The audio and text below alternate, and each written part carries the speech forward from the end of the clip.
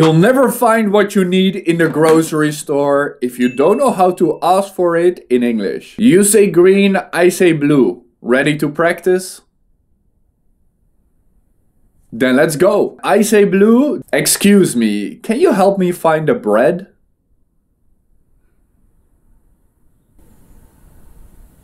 Thanks. Do you have any whole grain bread?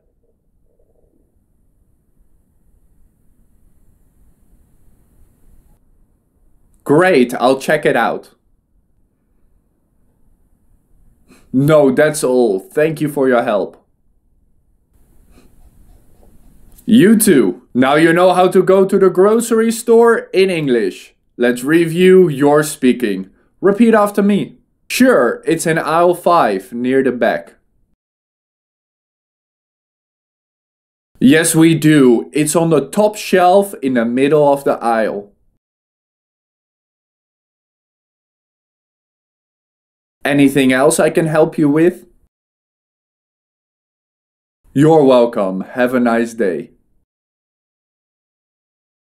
Now you know how to ask for help in the grocery store. Now go and practice with other English learners in our community. Click on the link in my profile to join our community. See you there!